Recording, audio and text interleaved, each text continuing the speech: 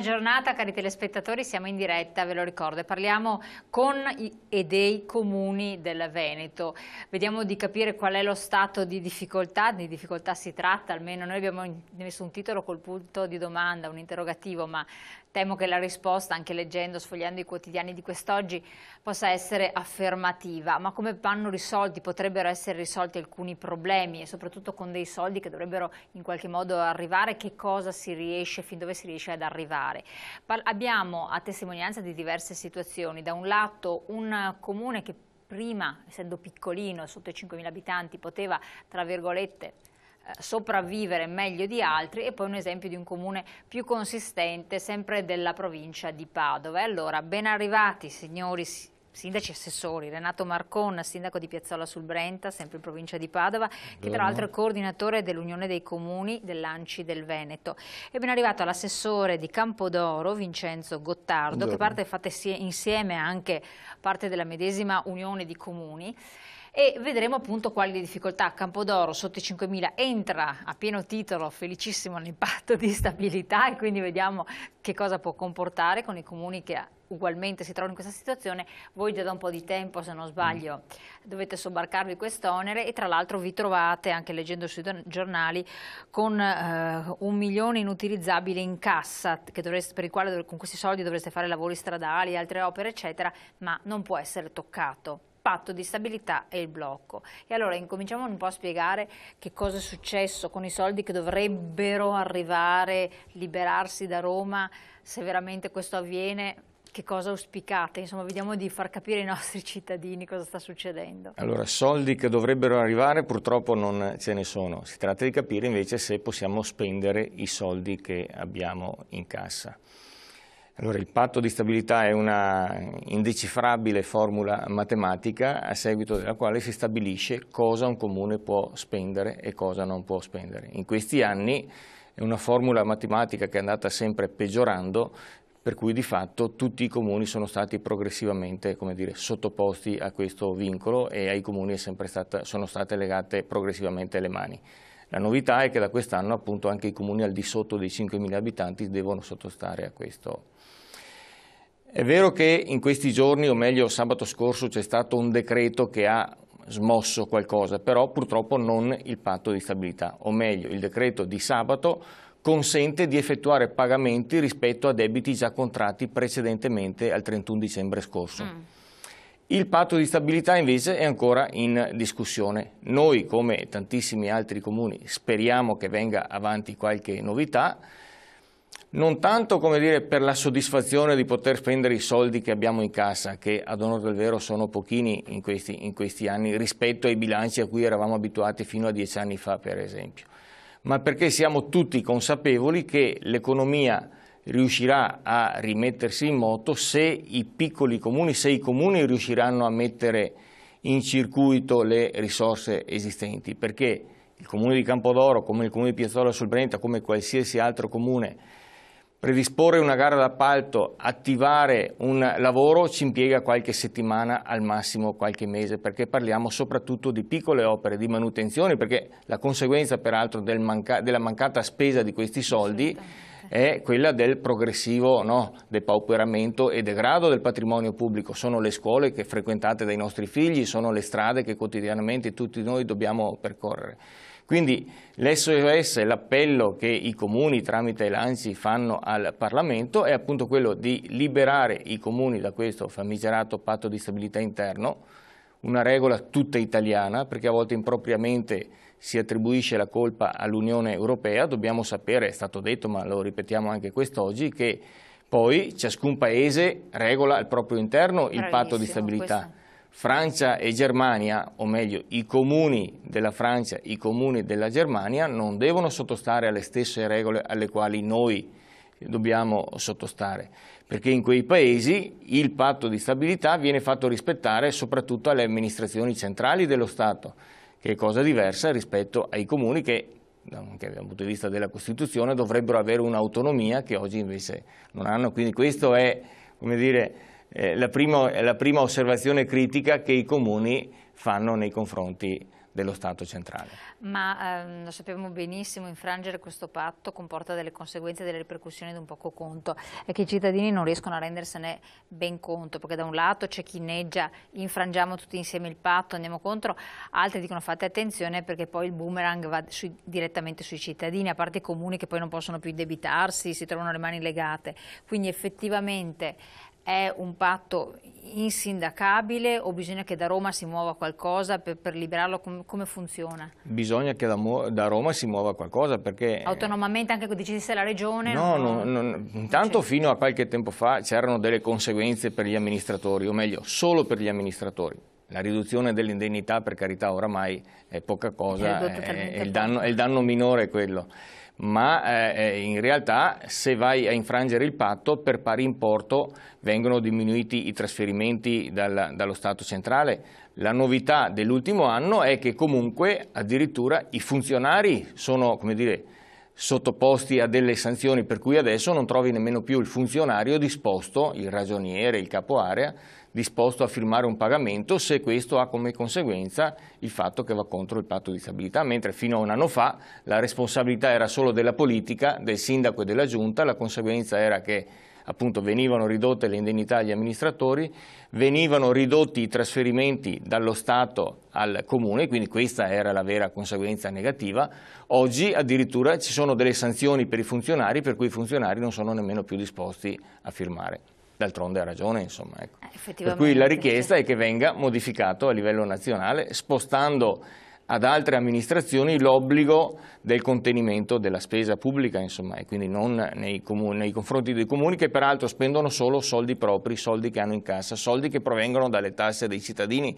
È vero che i cittadini malvolentieri pagano le tasse, però i miei cittadini, tutto sommato, se sanno che a fronte delle Beh, tasse sì, che pagano io faccio la manutenzione delle scuole frequentate dai loro figli, considerano che tutto sommato sia il male minore rispetto al bollo auto, rispetto al canone RAI, rispetto ad altri soldi che vanno a finire, eh, come si dice a Roma. Insomma. Bisogna tagliare lo stipendio anche a sindaci e amministratori comunali. Qui bisogna dire che mh, per rispondere bisogna fare anche un distinguo, perché eh, il nostro telespettatore o telespettatrice da un lato avrà letto sicuramente il giornale, ha pienamente ragione, perché quando parliamo di comuni come comune di Padova e avrà letto senza dubbio quanto percepiscono certi dirigenti, tu, insomma 33 persone, ne parlavamo prima fuori onda, che prendono più sui 100 100.000 euro annui con premi di produttività, è una vergogna eh, terrificante, però quando parliamo di assessori o di sindaci di comuni più piccoli si diceva prima un'indennità di... Si diceva prima che la mia indennità di assessore, io sono assessore in un comune di 2.800 abitanti, la mia indennità di assessore è 145 euro al mese, quindi ecco, penso quindi questa... di non arrecare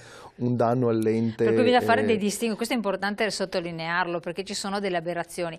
Eh, dopo vediamo anche di rispondere, Sindaco, a questo tipo di messaggio perché credo che, sì. che sia frequente, anzi purtroppo è molto frequente. Il governo ci ha bombardato di pubblicità dove ci diceva che, ci, che si, paga, si, pagano le tasse e più aumentano i servizi, ora le tasse sono assurde, i servizi scompaiono. E questo è un altro aspetto. Volevo chiedere a lei, ma è mai possibile che non si addivenga a una situazione di compromesso di comuni virtuosi? Eh, bisogna sempre tornare su questo tema perché ci troviamo comuni dove, che operano in un certo modo, che fanno certe attività e i cittadini se ne rendono anche conto, come diceva il sindaco. Comuni in altre parti d'Italia che hanno costretto poi ad attuare questo, tutto questo sistema del patto di stabilità per indebitamenti eccetera, che virtuosi non sono, che se gli dai un'unghia si prendono un dito e combinano disastri come i, i, i bilanci dei, che si trovano a governare. Cosa ne dice? Sì, io penso che eh, appunto il discrimine dovrebbe essere proprio questo, perché mh, con, eh, stavamo parlando prima del patto di stabilità, il rischio concreto di oggi è che eh, sono intrappolati eh, e devono sottostare a delle regole che non hanno eh, ragione di essere eh, tali, comuni che fino ad ora hanno avuto comunque una condotta, diciamo una buona condotta al di là del rispetto del patto di stabilità.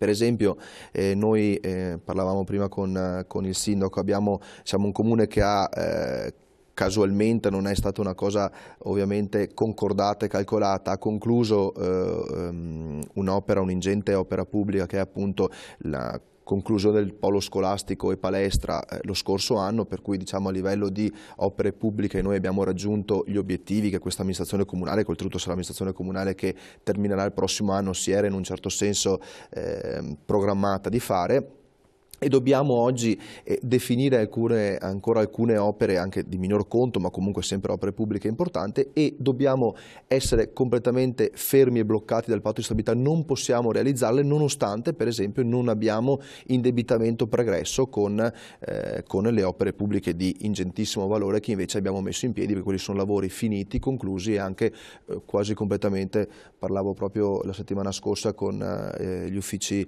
eh, del comune appunto quasi completamente completamente saldati, per cui ecco, a fronte di opere pubbliche inaugurate soltanto ad ottobre e completamente eh, saldate, non possiamo eh, definire ancora eh, piccole opere che mancano e quindi siamo, penso, un esempio di comune virtuoso, ma nonostante questo, questo non basta. Questo non basta assolutamente. C'è una telefonata, pronto?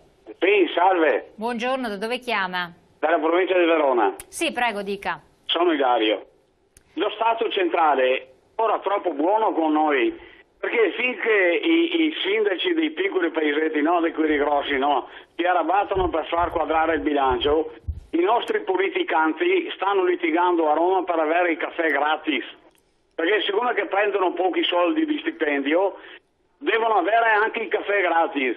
E il 70-80% del popolo italiano, che non mi riguarda perché io non mi sento italiano, no, ha rivotato, ha rivotato tutti quelli che eh, ci hanno portato in questa situazione. Quindi ogni popolo ha il governo che si merita. Va bene, grazie del suo intervento, Sindaco. Ogni popolo ha il governo che si merita, questo è un, dire, è un dato di fatto incontestabile. Eh, bisogna uscire un po' dai luoghi comuni, però in ogni caso bisogna anche riconoscere che una parte delle affermazioni fatte dal nostro telespettatore hanno un fondamento. Come se ne esce? La mia eh, opinione, non è solo la mia, è che bisogna spostare nei, nei territori per quanto possibile i centri decisionali perché localmente le risposte in qualche modo ai problemi le affrontiamo. È stato fatto riferimento agli stipendi, alle indennità, ecco senza aspettare il 2013, io penso, eh, guardo alla mia esperienza, a fine 2008 quando avevamo incominciato a intravedere no, i primi sintomi de della crisi, una delle prime decisioni che abbiamo assunto a fronte del fatto che già avevamo incominciato a vedere che i trasferimenti da parte dello Stato andavano diminuendo e il margine di discrezionalità politica dei comuni andava pure eh, diminuendo, una delle prime decisioni prese a fine 2008 è stata quella della riduzione, in quel caso del 30% dell'indennità di sindaco e eh, giunta comunale e degli assessori. Non solo, lei ha parlato degli stipendi, in quell'occasione noi, eh, sia pure non ricevendo tanti applausi dai nostri dipendenti, ma osservando la crisi che c'era e spiegando ai dipendenti che purtroppo all'esterno del comune c'era gente che a fine mese non riusciva a percepire lo, lo, lo stipendio, abbiamo messo in atto anche una riduzione dei compensi dei responsabili, di chi aveva gli incarichi dirigenziali, e anche un dimezzamento, che non è poca cosa, del fondo di produttività della cosiddetta quattordicesima, diciamo così, di tutti gli altri dipendenti comunali. Ci siamo guardati in faccia, devo dire, ripeto, non abbiamo ricevuto applausi da parte dei nostri dipendenti, però sono, hanno avuto dire, anche la consapevolezza del fatto che rispetto a tanti altri nostri concittadini che incominciavano a perdere lavoro in quei mesi e in quelle settimane, tutto sommato era un prezzo che erano disposti a pagare per dimostrare che il Comune sa anche stare vicino ai propri ai no, propri infatti, cittadini. Cosa, al di là dell'importo, perché alla eh. fine se penso, al, giustamente l'assessore ha fatto riferimento al suo compenso, quello dei miei assessori è più o meno il, il 40-50% superiore al suo perché siamo un comune di classe superiore che conta fino a un certo punto è la quantità di soldi, ma è soprattutto il messaggio, il messaggio che dà esatto. chi ha una responsabilità deve anche dare dei messaggi, deve dare anche dare degli esempi positivi, al di là della quantità di soldi che riesce a mettere no, in ma gioco. Infatti, ma la, mm, cioè, io dico anche come gesto, come gesto che poi non conta niente, uno di questi 32-33 dirigenti, ma ce ne sono molti di più nel comune di Padova, che adottino due, tra virgolette, con una cifra al mese, due o tre famiglie di disoccupati col cuore in mano, ce lo possono permettere tranquillamente, che quindi che diano via 500, 600, 5.000 euro all'anno, non muoiono di fame ma stanno ancora da Dio, ma è quel gesto che ti fa la differenza, bisognerebbe farlo, altrimenti tanto nomi e cognomi ci sono, se scatta un meccanismo trovi l'operaio esasperato che va sotto casa e dire adesso mi dai anche dei soldi perché io non ce la faccio più. Io dico evitiamo questo, eh, un attimo solo, vi do subito la parola, mm, c'è una telefonata, pronto? Pronto, buongiorno, mi chiamo Maurizio. Da dove chiama? a lei e ai suoi ospiti. Abbi, eh, chiamo da Stra, sì, alla Riviera del Brenta. E volevo sottolineare una cosa qui che succede nel nostro comune di Stra. Un esempio tale e uguale degli sprechi, ma abbiamo un sindaco che fa il sindaco due ore alla settimana. Cioè è già una persona ricchissima di per sé. Allora, se una persona è già ricca, perché va a fare il sindaco in un comune come Stra quando potrebbero andare molti ragazzi laureati a tempo pieno a fare mm. il sindaco. Cioè tu sindaco perché lo fai due ore alla settimana? Ti pago allora due ore alla settimana perché non fai niente.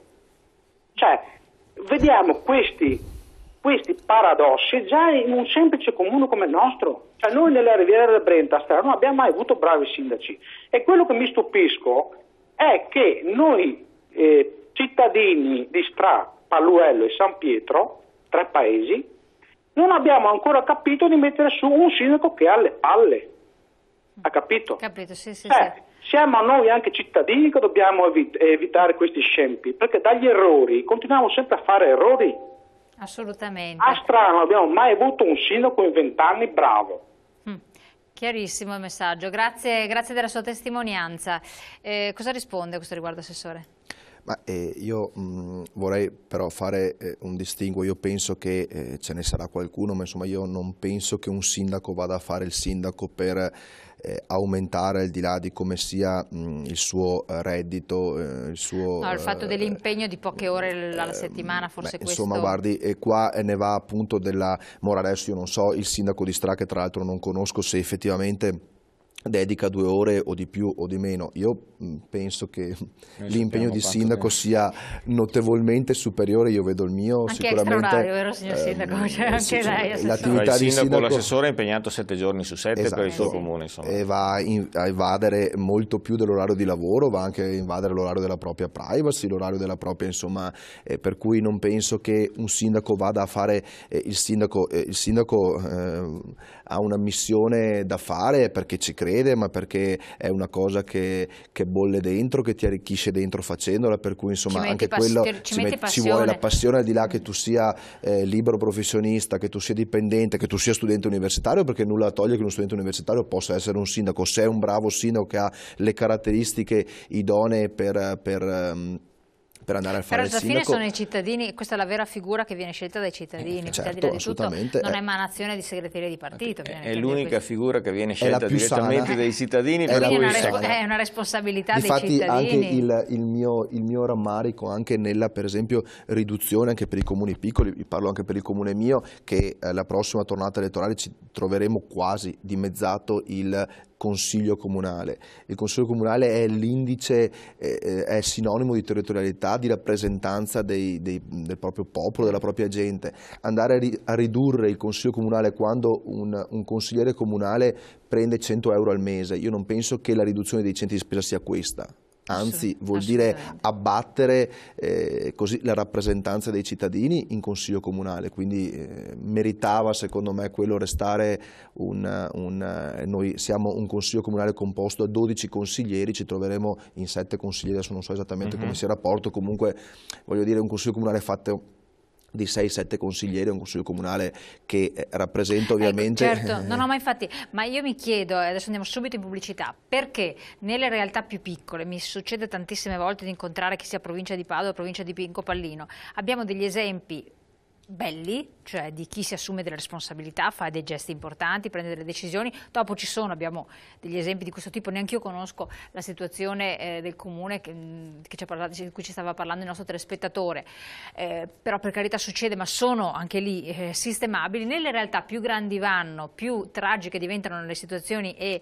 emblematiche, ognuno tiene egoisticamente la propria posizione e poi si va nel sistema Stato dove succede il disastro. Il problema è che si va verso un'ottica di centralismo statale invece che di localizzazione federalismo dove magari certi accordi si trovano, certe situazioni si potrebbero sanare. Allora parliamo anche di questo subito dopo la pubblicità, pochi secondi.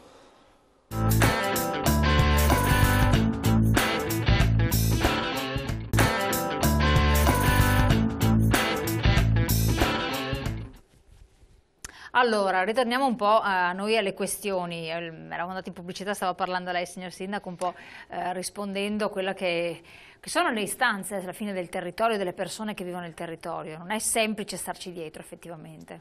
Sì, eh, quindi è giusto anche dar voce a, a questi sfoghi, a queste no, lamentele che a volte percepiamo da parte dei nostri cittadini sui costi della politica, sui costi in generale. Quello che io raccomando, lo faceva giustamente anche l'assessore Gottardo prima, è stiamo attenti, c'è un'espressione che non mi piace ma stavolta la utilizzo anch'io, di non buttare via il bambino con l'acqua sporca, e cioè è vero che dobbiamo contenere e se possibile ridurre le spese della pubblica amministrazione, altra cosa però è il tema della partecipazione ai processi decisionali. Eh, giusto, emblematico l'esempio di Campodoro che con le prossime elezioni arriverà ad avere un consiglio comunale formato da sette persone. Siamo sicuri che questo sia un bene? Eh, infatti, bravissimo. Io, le, io, porto la mia eh, esperienza. Sì. Io ho cominciato a fare il consigliere comunale, avevo 20 anni. Era un consiglio comunale composto da 30 persone, 30 consiglieri. Ah, All'epoca i partiti avevano il coraggio di investire anche su qualche giovane. Entrammo in consiglio in tre ventenni all'epoca. Oggi ho un consiglio comunale di 21 persone, con le prossime elezioni amministrative avrò un consiglio comunale formato da 17 persone. La domanda che mi pongo e che pongo a tutti è i partiti o le liste civiche avranno ancora il coraggio di mettere in lista giovani ventenni e soprattutto questi giovani ventenni avranno la capacità di farsi eleggere consiglieri comunali? Perché il tema vero a livello locale come anche ad altri livelli è quello della partecipazione. Noi dobbiamo evitare che a prendere le decisioni siano poche persone, perché la politica, anche qua, è una cosa troppo seria per farla fare a poche persone.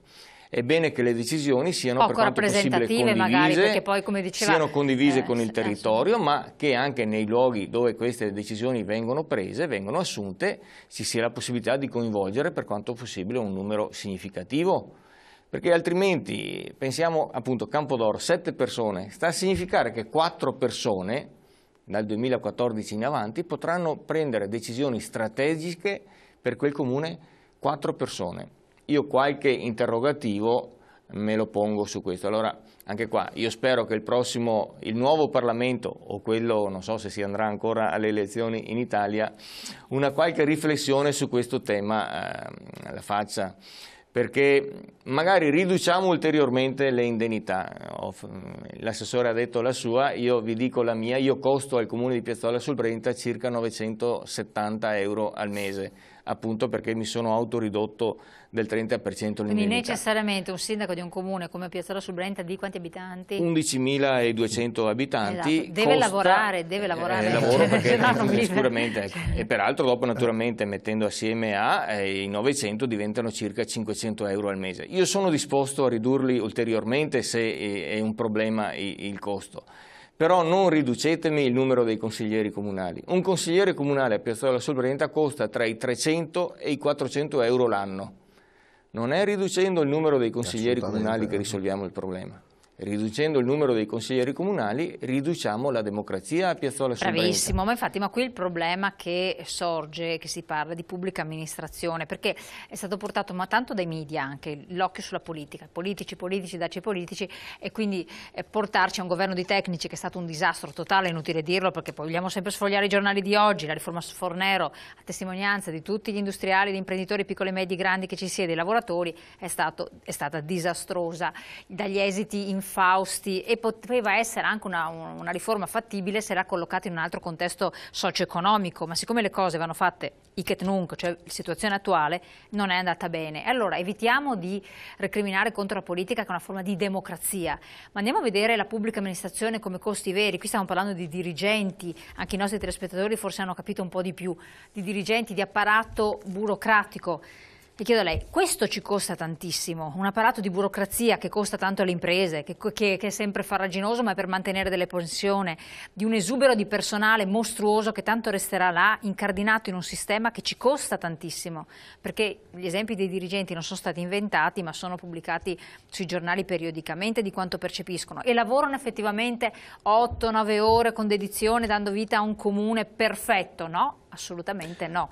Allora, un comune, un ente, a un apparato pubblico, a uno Stato perfetto? Assolutamente no. Guardi, io adesso eh, non conosco ehm, così il quadro del ah, comune di Padova e la situazione nostri... e vediamo, d'accordo. Io penso che il grande punto di rottura oggi, e lo sentiamo anche dalle telefonate, dalle poche telefonate che abbiamo sentito Perché Venezia è lo stesso. Ecco, io penso che il grande punto di rottura oggi sia perché, ehm, voglio dire, eh, sembra di vivere in mondi diversi eh, tra eh, quello che capita nei nostri territori, nei nostri comuni e quello che capita nel governo centrale. Adesso il sindaco prima parlava e adesso io conosco il sindaco Marcoma, insomma si sente che è un sindaco che parla col cuore, che vive il, il suo, la sua prodiga. missione di sindaco. E allora noi ci chiediamo, ma i nostri, i suoi, i miei riferimenti di Roma che siedono nel Parlamento di Roma, vivono questi problemi, conoscono questi problemi? Questo cioè, che vi chiedono i cittadini. Il sindaco esatto. ha sicuramente eh, eh, la gente che il sabato, il venerdì il giovedì va a tirargli la giacchetta, gli dice non riesco a fare la spesa, non riesco a mangiare, non riesco strada, a pagare sindaco, le bollette. No? Cioè, questo è quello che vive un sindaco oggi nel territorio in cui opera. Voglio dire, a Roma che dopo 40 giorni dalle elezioni non abbiamo ancora un governo, non sappiamo cosa faremo domani, non sappiamo cosa capiterà, non sappiamo nulla.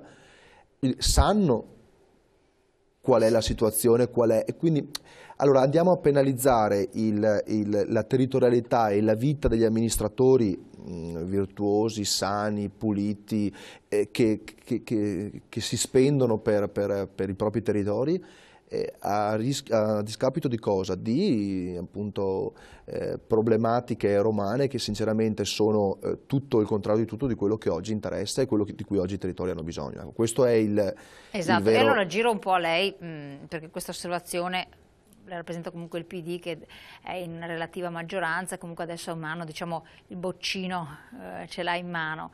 Che aspettano?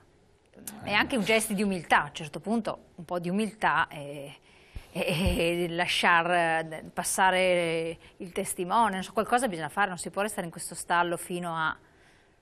Non sono in grado di esprimermi su cosa succederà, su cosa succederà a livello nazionale. Vero è, se osserviamo un attimo dal di fuori la questione, che in una campagna elettorale dove la contrapposizione tra PD e PDL è stata talmente elevata, immaginare una collaborazione è problematico. Però per il bene del Paese a questo parte, punto bisogna eh, arrivare a tutto. Siamo consapevoli eh. che alla fine abbiamo un Parlamento, un Parlamento fatto da tre minoranze sostanzialmente e quindi bisogna che tutte e tre le minoranze assumano la consapevolezza di questo quadro di riferimento e abbiano il coraggio di fare cose un po' diverse rispetto a quelle che avevano Dire, sì, ma se voi come comuni elettorale. nel territorio, e ne parlavamo fuori onda prima uh -huh. della trasmissione, riuscite a fare l'unione di comuni, di diversi, perché voi stessi certo. raccontavate diversi, con problemi diversi, di appartenenze politiche diverse, Lega, PD, PDL, eccetera, e trovate un accordo. È mai possibile che a massimi sistemi, dove forse girano troppi soldi, ed è quello il discorso alla fin fine, perché voi forse guardate più i problemi contestuali che non le, la, la posizione, non si arrivi a dire vabbè un compromesso per il nostro paese, per la gente che sta morendo di fame o che si toglie la vita perché poi quello neanche lo sanno più perché non se ne parla, non fa più notizia, dobbiamo prenderlo, dobbiamo rinunciare a divenire a rinuncio io, rinunci tu, rinuncia lui, addiveniamo a bisogna farlo, se lo fate voi nel piccolo perché è quello che i cittadini non riescono a capire, cioè questo che proprio non, entra nel, non può entrare nelle nostre menti. Il tema è quello della eh, rispondenza tra no, il fatto che l'amministratore deve rispondere direttamente propri, ai propri cittadini. Nella nostra, unione, nella nostra, unione, dei comuni ci sono tutte le sensibilità politiche in amministrazione, quindi abbiamo sia l'UDC che il PDL, che il PD, che la Lega. non la pensiamo allo stesso modo su tutte le questioni, su alcune la pensiamo diversamente, però dovendo rispondere quotidianamente ai nostri concittadini, una ipotesi di soluzione rispetto ai problemi che quotidianamente ci vengono oh, di fronte la, la, la troviamo, appunto eh, perché dobbiamo direttamente rispondere ai cittadini. Forse Sappiamo questa... che il Parlamento è una cosa un po' diversa, si parla di nominati, se anziché essere nominati fossero eletti come avveniva con il precedente sistema elettorale, quindi non con il cosiddetto porcellum ma con il cosiddetto mattarellum, probabilmente la cosa sarebbe diversa perché prima avevamo sì. il senatore eletto nel nostro territorio, oggi non sappiamo chi è il senatore del nostro territorio, avevamo il deputato eletto nel nostro collegio elettorale che settimanalmente veniva a rendere conto nei comuni di cosa stava facendo a Roma. Oggi non sappiamo, oggi non esiste questa relazione diretta tra eletto e territorio. Nelle amministrazioni esiste e quindi anche avendo opinioni politiche diverse dobbiamo necessariamente trovare una soluzione ai problemi e noi la, fino ad ora siamo riusciti a trovarla, almeno all'interno della quindi nostra Quindi questa secondo me è una possibile soluzione, quindi riforma elettorale, rispondendo anche al discorso della Tares che che su, per molti è un po' un'incognita. Sì, adesso beh, messaggio che è arrivato. La Tares è stata appunto eh, è stata posticipata ehm, al termine dell'anno. Eh, posticipata eh, perché poi a questo punto la tredicesima uno se la brucia tutta in tasse. Certo sì, eh, adesso eh, appunto ehm, mi sento, vorrei anche dire che sta capitando tutto il contrario di tutto, per cui io sono anche fiducioso che eh, magari chissà se entro fine anno qualcosa dovesse ancora cambiare, dovesse modificarsi. Io però posso garantire che che eh, i comuni, io parlo per il mio comune, eh, sono economicamente al collasso e, e voglio dire, diventa veramente mh, problematico eh, programmare eh, le spese future, ma che poi sono le spese dei servizi per i nostri cittadini, per cui io non sto assolutamente giustificando la Tares e so benissimo quanto eh, andrà a influire negativamente, pesantemente nei nostri, anche nella nostra vita, eh, nei nostri portafogli e quindi nella nostra vita. Però vi assicuro che eh, i comuni non hanno la capacità di eh, rispondere economicamente ai servizi, non è questione di non volerlo fare o di non voler offrire i servizi, cioè i tagli necessariamente ci devono essere perché non c'è la capacità eh, proprio economica per far fronte a quei servizi che fino ad oggi sono stati eh, a servizio appunto dei, eh, dei cittadini. Ritornando un attimo a quello che stavamo dicendo prima sul, eh, sul problema dei nominati di Roma, è, è di questi giorni che mentre noi appunto discutiamo di servizi che non vengono più dati, di soldi che non ci sono, di opere pubbliche che eh, necessitano di buche nelle strade che bisogna chiudere perché altrimenti la gente si uccide, cioè a Roma stanno dialogando di nomine, eh sì, di nomine, cioè chi, chi, se ne importa a questo punto di chi è il Presidente del Senato, con il massimo rispetto per il Presidente del Senato o della Camera, quando i problemi cioè, siamo veramente in pianeti diversi perché i, i, problemi che si trovano ad affrontare gli amministratori locali nei propri comuni sono ben distanti dalle nomine del, del, del, dei salotti appunto, romani, ma invece sono di rispondere alle esigenze e alle, ai problemi quotidiani ormai eh, vitali delle persone. Andiamo in pubblicità, poi ritorniamo con voi tra poco.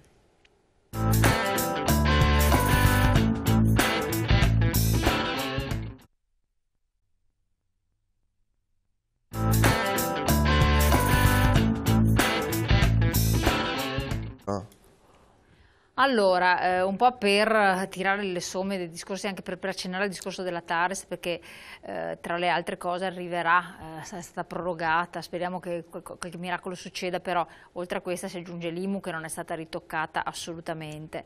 E qua arrivano anche altri messaggi che fanno capire palesemente che eh, servono soldi per fare tutto quello che può essere necessario fare, però poi eh, alla fine certi servizi non si trovano, non si riscontrano e sembra che lo Stato sia un, buco senza fondo, insomma, sostanzialmente. Eh, è pesante questo, anche l'aumento dell'IVA eh, porterà ovviamente, ma dopo è ovvio che porta un blocco dei consumi, un blocco totale dell'economia da cui non se ne può venire fuori. L'eccessivo rigore è stato rimproverato più volte, come una politica non efficace a livello europeo e a livello Europa. La Corte dei Conti è stata categorica da questo riguardo. Cosa ne dice Sindaco? Sì, eh, il pericolo anche secondo me è proprio questo, l'eccessivo rigore corre il rischio di paralizzare ulteriormente la situazione. Per carità, è vero che purtroppo abbiamo sempre questo fardello del debito pubblico che ci condiziona e ci ha condizionato.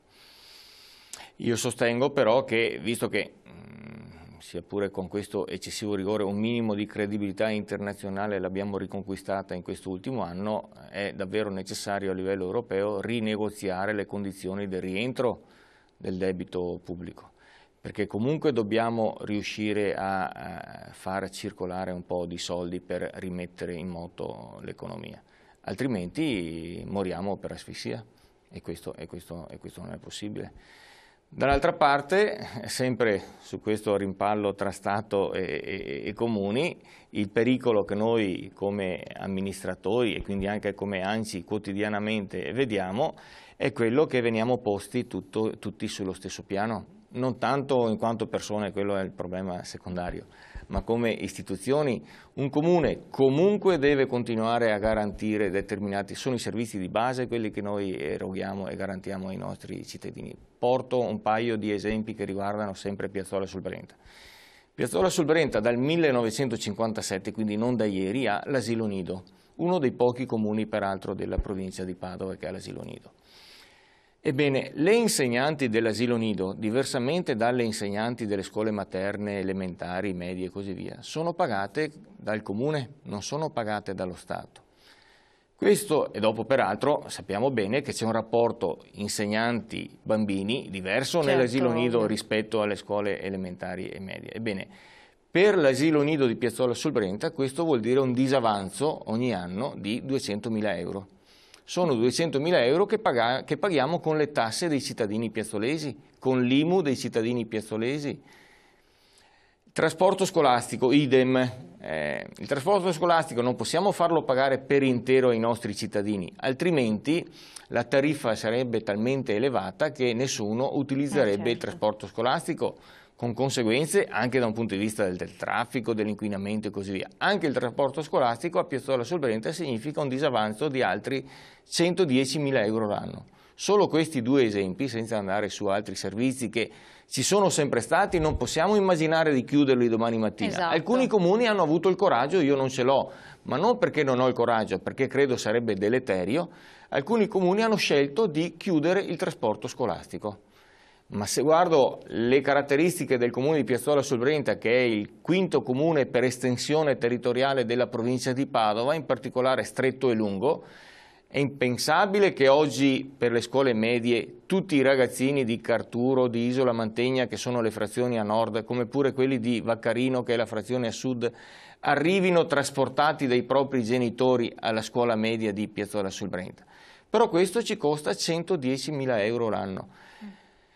Per dire che cosa? Per dire che determinati livelli di servizi non possiamo metterli in discussione, non possiamo andarli a chiudere. Dall'altra parte però l'altra faccia della medaglia sono le tasse che i nostri cittadini pagano, che sommate a quelle che pagano per, tra virgolette, Roma, eh, sta a significare che siamo ad un livello di tassazione per certi aspetti insostenibile e quindi indubbiamente qualche segnale bisogna che arrivi a livello romano, insomma, perché altrimenti i comuni sono costretti a chiudere. Abbiamo citato l'esempio dell'Unione eh, dei Comuni che peraltro in questi ultimi tempi stanno prendendo ulteriore corpo anche a livello regionale come pure a livello nazionale. Allora forse una delle vie d'uscita alle quali i comuni si stanno abituando sono quelle della gestione associata dei servizi. Può essere unione, può essere convenzione, appunto per cercare di gestire in forma associata raggiungendo le economie di scala, quindi con costi inferiori, eh, no? I, i, servizi, i servizi certo. erogati. Questa è una delle strade da, da, da percorrere. Però quello che io dico allo Stato facciamo vivere questi comuni perché altrimenti, certo. altrimenti se incominciamo a far morire i comuni e la conseguenza il giorno dopo è che lo Stato viene meno, la solidarietà tra i cittadini viene meno. Eh, assolutamente. Telefonata, pronto? Eh, cara signora Elena, buongiorno a lei e ai suoi ospiti. Buongiorno, Sono da dove chiama? Dalla, dalla, provincia di Padova. Sì, prego. Eh, senta, beh, intanto io la devo ringraziare um, perché le, io guardo sempre le sue trasmissioni, magari in replica, perché arrivo a casa a orari un po' diversi, certo. però la devo ringraziare perché lei partecipa molto attivamente la trasmissione, nel senso che si medesima profondamente con quelle che sono le nostre istanze, le nostre difficoltà, le nostre problematiche. Quindi c'è una specie di compartecipazione alla sua trasmissione molto intensa perché lei diciamo, si adopera per la finalità stessa della trasmissione. E questo glielo dovevo dire da, da, un po' di tempo che la seguo in televisione e dovevo assolutamente ringraziarla per questo suo atteggiamento. Grazie, grazie a lei, grazie de, de, Devo fare una domanda? Sì, sì, dovevo fare una domanda, sì, perché vede, eh, io, mh, mm, io, ritengo che il comune, il comune, il municipio, sia la base di partenza della politica però come suddito forse più che cittadino io dovrei fare delle rimostranze su come mm. funziona un municipio, perché ci sono delle cose che non mi piacciono. Per mm. esempio, io ritengo che non sia assolutamente possibile che un ex segretario comunale, che oggi si chiama dirigente, prenda 10-20 volte più del sindaco, anche perché all'interno del comune, siccome mi risulta che ci siano dei laureati in varie discipline, dei diplomati, che senso ha che ci sia un, un, un funzionario esterno che prende una barca di soldi quando siamo in grossissima difficoltà, bastano gli impiegati. La stessa cosa vale per l'asporto rifiuti, Deve esserci un, del, devono esserci degli impiegati, un addetto politico, un assessore ai rifiuti, ma non costituire una società. Io a casa mi divido la immondizia, ho un sacco di bussolotti, di contenitori, lavoro io per l'amministrazione, pago il servizio che è ottimo, eh, perché il servizio però c'è un dirigente eh, alle immondizie, alla rumenta, come si dice alla Ligure, che prende una barca di soldi. Sì, non sì. è possibile in questa condizione di crisi, non, è, non sono eh, accettabili queste forme di organizzazione. Chiari, guardi, è stato gentilissimo, la ringrazio veramente per la sua telefonata. Potrei dire tante eh, altre cose, eh. ma capisco che... Guardi, la faccia domani sera alle 21, dalle 21 alle 23, abbiamo la nostra diretta serale in un orario più umano, parleremo anche di questi temi, per cui la invito a telefonare anche domani sera. La ringrazio guardi. molto e saluto grazie. i suoi ospiti, contro i quali a titolo grazie. personale non ho assolutamente nulla. Abbiamo capito, grazie, grazie molto. Grazie, grazie, a lei, signore, saluto i suoi eh, Rapidissimo, rispondiamo, perché il nostro telespettatore l'ha detto, in questo momento di crisi, che era quello che dicevo anch'io, in questo momento ben preciso, finché c'è pappa per tutti, spargiamo pure la pappa e facciamo quel che vogliamo. In questo momento, Nine, cioè, no. rapidissimo che siamo in chiusura. Molto veloce, eh, abbiamo, eh, ce l'abbiamo giustamente tutti, anch'io con i costi della politica, ci sarebbe una serie di consorzi, di aziende, di municipalizzate, di cose da tagliare, dove anche lì ci sono dirigenti, ci sono a cascata poi sottodirigenti, segretari, sottosegretari che prendono stipendi che sono eh, veramente allucinanti da cifre paurose che anche lì si tratterebbe di capire ma servono, quanto servono, a cosa servono. Per cui ecco, colgo l'occasione di questa telefonata del telespettatore per dire sì, i costi della politica, ma dovrebbero allargarsi... Dell'amministrazione, della cosa pubblica, perché ricordiamo cosa pubblica, che di cui, eh, pubbliche amministrazioni di cui abbiamo bisogno perché altrimenti le cose operativamente non vengono fatte, che però effettivamente adesso stiano sbordando un po' come, eh, come costo, questo è altrettanto vero, e che forse una cosa la può fare invece che cinque persone anche una sola persona, come avviene nel privato, perché nel privato poi nelle aziende funziona così al di là di tutto. Siccome noi viviamo in un territorio dove ci sono tantissime aziende private che funzionano piccole bene. che funzionano bene e che la gente lavora non otto ore ma molto di più, magari non hanno neanche gli straordinari pagati o che so io, perché c'è crisi, è giusto che questa crisi sia cioè, ne risenta anche chi lavora nella cosa pubblica che paghiamo noi, perché poi attenzione, eh, io dico sempre, ci dovrebbero fare un report settimanale ognuno di tutto quello che fa perché in fin dei conti sono tutti i nostri dipendenti. Allora, grazie Sindaco, grazie Assessore di essere stati qui con noi, grazie a voi come sempre di averci seguito, grazie della collaborazione dell'Anci del Veneto che ci dà l'opportunità di affrontare anche questi temi. Io come sempre vi aspetto domani in diretta, se no domani sera alle 21. Grazie e buon proseguimento.